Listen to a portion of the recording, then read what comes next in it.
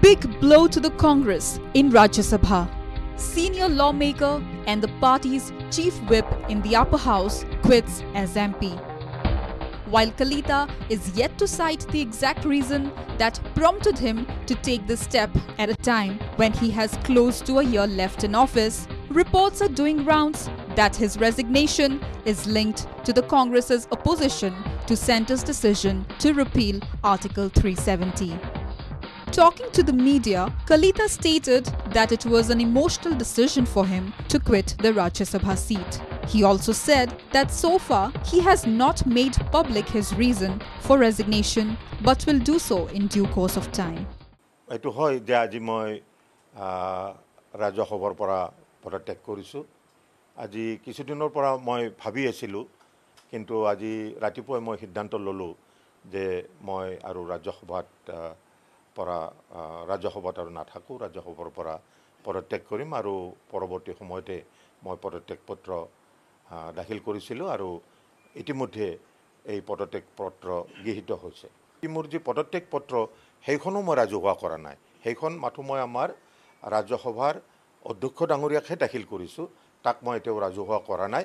আৰু পৰৱৰ্তী সময়ত মই মোৰ ষ্টেটমেণ্টটো দিম আৰু মোৰ পদত্যাগ পত্ৰও মই ৰাজহুৱা কৰিম। এইটো কঠোৰ সিদ্ধান্ত নহয় মোৰ এইটো ইম'চনেল সিদ্ধান্ত।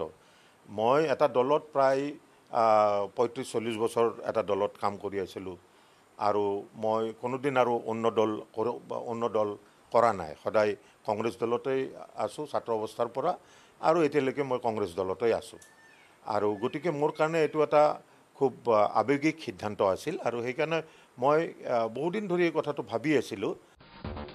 Kalita's statement clearly indicates he has a lot to say on the matter.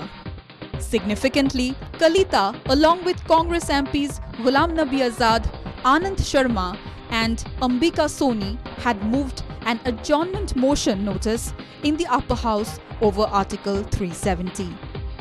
Reports in leading national news portals also quoted a letter purportedly written by Kalita wherein he stated that Congress was committing suicide by opposing the abrogation of Article 370.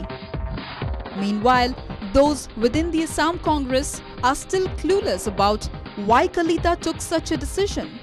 Leader of opposition in the Assam Assembly, Debabrata Saikia, said the party is yet to get the details.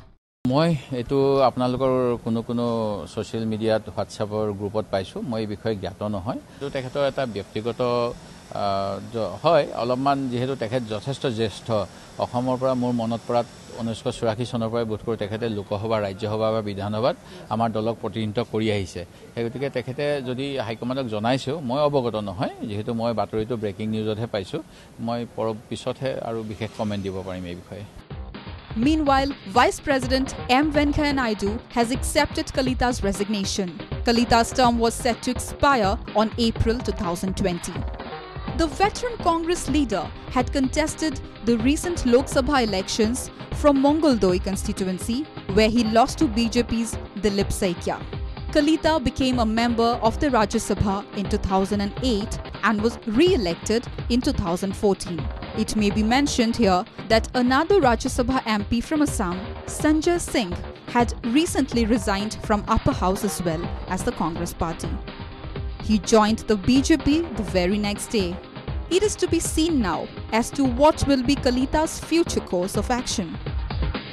Bureau Report, Northeast Live.